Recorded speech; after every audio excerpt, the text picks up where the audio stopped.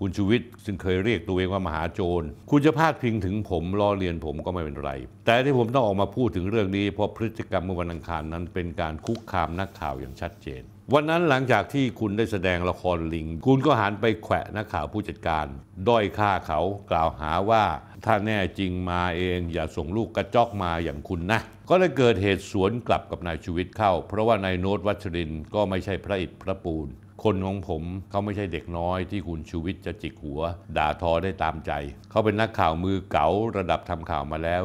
20 ปีครับ คุณชูวิทย์ ที่คุณบอกว่านักข่าวผู้จัดการไม่ใช่นักข่าวเพราะมาฟังแล้วไม่ยอมลงข่าวตามสิ่งที่ตัวเองพูด คุณชูวิทย์ครับอาชีพนักข่าวที่แท้จริง พวกเรา มีหน้าที่แสวงหาความจริง ไม่ใช่ใครพูดอะไรมาแม้จะพูดโกหกพูดหมิ่นประมาทคนนู้นคนนี้อย่างปราศจากข้อเท็จจริงแล้วพวกผมต้องนำเสนอหรือไง คุณเข้าใจอะไรผิดหรือเปล่าคุณชูวิทย์